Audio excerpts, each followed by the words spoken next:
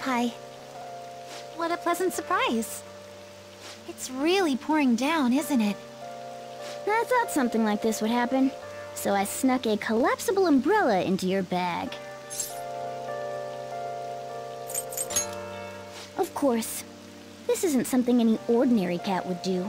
And just in case you've forgotten again, I'm a human, not a cat.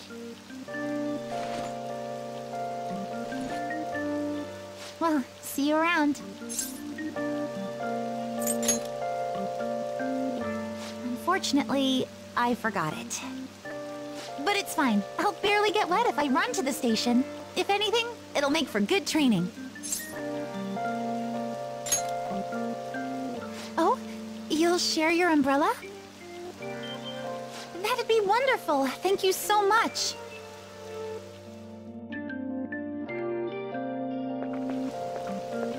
Thanks again for letting me join you. To be honest, prelims are coming up soon, so I didn't want to take any chances of getting sick. Oh, the preliminary competition for gymnastics. Two huge competitions are coming up. One at the beginning of summer and one near the end. If I'm going to participate in the prelims, I have to be selected as my club's representative. And there's a qualifier meet to determine who that rep will be. It's my dream to compete in gymnastics on the global level. So, I plan on maintaining a strict training regimen with my coach. It's nothing extraordinary, but it's for my dream. So I'm willing to put in every bit of effort that I have. Oh, we're already at the station.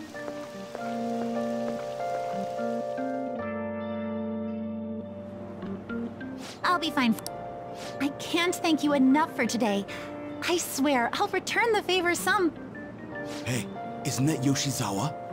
You mean the honors gymnast? She gets the VIP treatment at school and a boyfriend to escort her around? Miss Special Snowflake sure is living on Easy Street. I'm sorry. You shouldn't have to deal with a misunderstanding like that. Yeah, you're right. The same thing happens in class, too. People are often wary of me because I'm an honor student. The school's expecting me to attain strong results in the upcoming competitions, too. They even told me I didn't have to participate in the cleanup event. But I just don't like getting special treatment. Oh, excuse me. My father's calling. Hello, Dad? What was that? Uh, sorry, my phone's been acting up lately. It's okay. Thanks. Mm-hmm. I'll see you later. Sorry about that. He asked if I needed a ride since it's raining. A bit overprotective, don't you think? Yes, I definitely agree. Well, I have to get to practice, so it's time for me to go. Thanks so much for today. Excuse me,